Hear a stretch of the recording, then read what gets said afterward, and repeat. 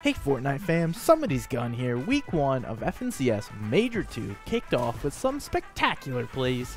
Let's take a look at a few of the best ones and break them down so you can think like a pro.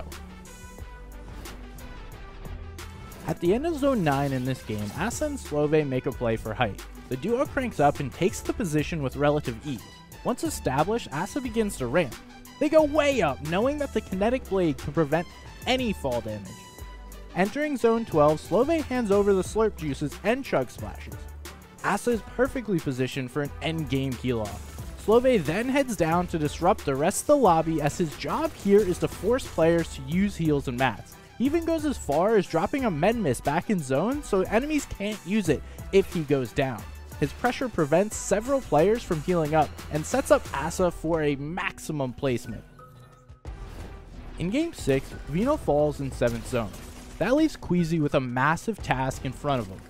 Queasy knows that he will get jumped on if a duo spots him alone. During 8th zone, Queasy just chills, and that's pretty much the strat. Through the endgame, Queasy shows off his masterful knowledge of the meta and the zones as he opens his box to the storm side to prevent taking damage. He repeats this until zone 12 when he runs out of materials. The game time augment is popped, and now it is time to maximize each and every second remaining in this game.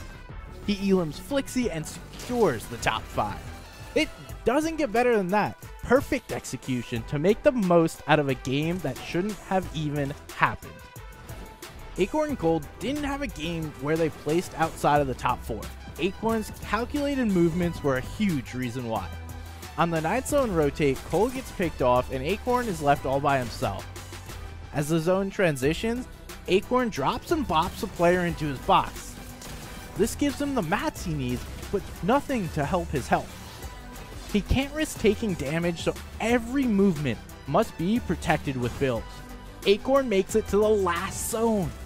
He sees a knocked player in a box next to him and gets aggro. A shotgun blast straight to the dome gives Acorn a big refresh. He falls after zone closes, but not before pulling off this remarkable solo clutch. With all the chaos in week one, there's one thing I know for sure. We can count on these players to bring the heat. We are undoubtedly in for a show next week, and let's hope we see even more unbelievable plays. Make sure to tune in from April 22nd to catch all